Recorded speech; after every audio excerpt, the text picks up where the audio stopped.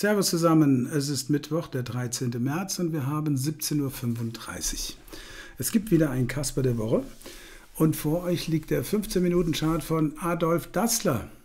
Die haben ja da alle möglichen Nachrichten gebracht. Das hier war gestern 9 Uhr, 195, runter auf 184, dann hoch auf 201. Man muss sie mögen. Also wirklich Adidas ist eine Aktie, die muss man mögen und wenn man die Long oder Short hat, muss man die auch mal 50, 60 Punkte gegen sich aushalten. Das ist, ich handle die nicht gerne, ich halte die für sehr schlüpfrig und ich bin da nicht so gerne dabei, muss ich ganz ehrlich sagen. Aber wer da, wer da hier das gut erwischt hat, der hat schon richtig seinen Spaß gehabt. Gehen wir zum DAX. DAX. Da gab es ein paar Beschwerden. Ich sehe den Markt nicht richtig. Das stimmt. Ja, ich habe den Markt hier. Ich war jetzt hier, war ich im Urlaub. Ich habe das nicht gesehen, dass der heute mal, was waren wir, 18.001 oder sowas. Hätte ich nicht vermutet, gebe ich ganz offen zu. Aber ich habe auch nie irgendwo behauptet, dass ich äh, immer richtig liege. Für mich ist der Index an sich relativ schwierig zu greifen momentan, gebe ich auch zu. Ich habe auch jetzt in der letzten Woche, seitdem ich wieder da bin, habe ich nichts mitgemacht. Aber in den ganzen Filmen, auch schon seit Wochen, nenne ich auch immer Alternativtitel zum Index selbst. Da war eine Rheinmetall, die sind 100 Euro gestiegen, die Nordex 15 Prozent. BYD, die haben jetzt vier Wochen nichts gemacht. Auf einmal sind sie jetzt hier seit zwei Tagen 10 Prozent besser. Da war der Nvidia Put und den habe ich gut erwischt. Das war hervorragend. Oder nehmt mal den Film von PayPal vom Montag. Die Optionen haben sich verdoppelt, ja, innerhalb von zwei Tagen. Zum einen muss ich nicht immer mein Seelenheil im DAX suchen, aber, weil das ist ja ein DAX-Film hier, ich nenne auch gerne mal Alternativen. Was jetzt den Index hier selbst angeht. Ich, überall, wo ich reinschaue, in alle möglichen ähm, Finanzseiten, äh, da kommen aus dem FF Neufonds, KI-Fonds, da sind da eine Nvidia drin mit 900 oder eine Super Micro mit 1100, die sind dann da drin. Kaufen Sie, kaufen Sie, kaufen Sie. Ähm, das macht mir Angst. Und nach wie vor, wer auch immer mich anspricht, ach, du machst Börse, was hältst du denn davon?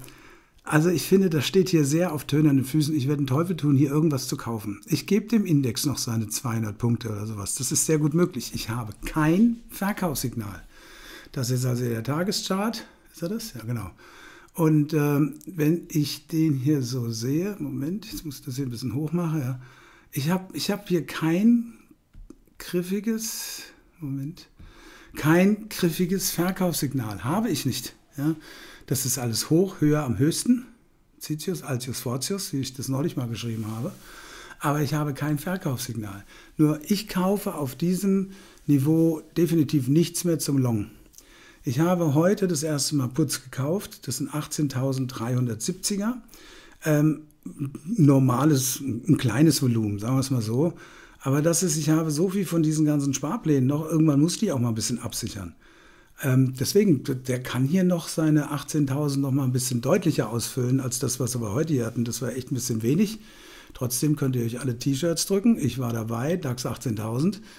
Aber in der Vergangenheit, und das war auch bei 17.000 so, sind wir da erstmal rangegangen und dann haben wir ein bisschen verloren. Ja, deswegen, ich äh, sehe das hier nicht so. Den Verfalltermin nochmal am Freitag ich nehme den nicht so ernst. Das größte Volumen war bei 17.600, wenn ich mich richtig erinnere, von den Scheinen, also von den Optionen her.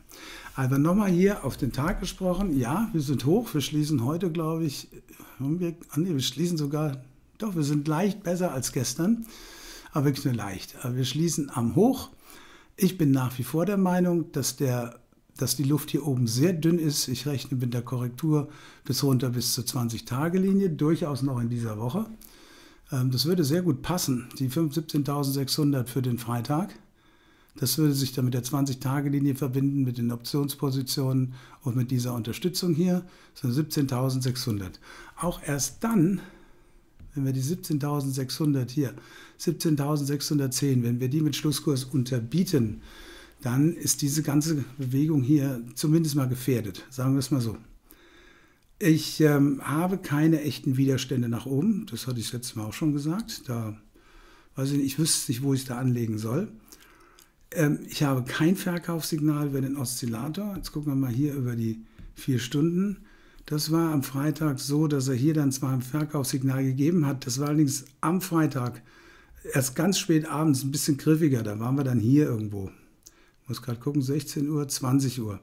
Ja, da waren wir dann mit dieser Kerze, waren wir dann, haben wir dann das Verkaufssignal deutlicher gemacht, aber es hat auch nicht so viel gebracht. Ich bin überrascht über die innere Stärke vom Index. Ich schaue ja gern den Vergleich Nasdaq zu DAX und neulich war der Nasdaq 800 Punkte über dem DAX und jetzt sind es nur noch gerade 100 Punkte mit Mühe und Not.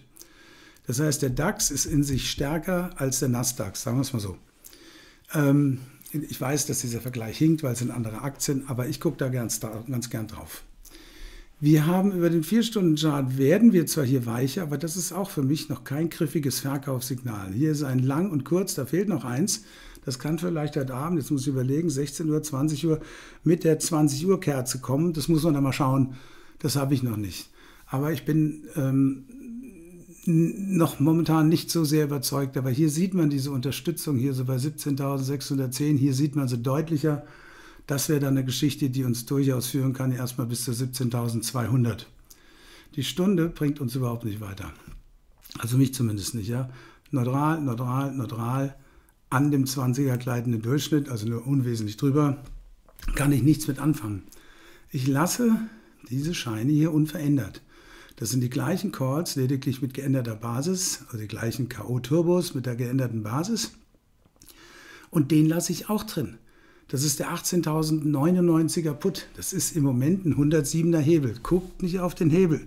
Mir geht es darum, wenn ich jetzt hier irgendwo ein Verkaufssignal bekomme, was vielleicht eine Tragweite von 50 bis 70 Punkten habe, es ist eigentlich fast egal, ob ich den nehme oder den. Aber ich nehme dann immer die Dinger, weil dafür kann ich dann noch ein paar mehr nehmen.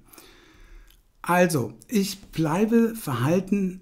Ich sehe den Markt nicht nennenswert weiter steigen. Ich weiß, dass ich schief gelegen habe in den letzten Wochen im Sinne von diese Bewegung nach oben nicht mitgemacht im Index, aber dafür in diversen Aktien. Und ähm, ich werde auch weiter in den Aktien bleiben. Bei, das sage ich jetzt, die PayPal, da habe ich also jetzt die Hälfte verkauft bei fast einer Verdopplung. Und der Rest, der ist jetzt Stopp, Einstand und dann mal gucken, was passiert. Ich wünsche euch ein Happy Trading und fette Beute. Bye bye.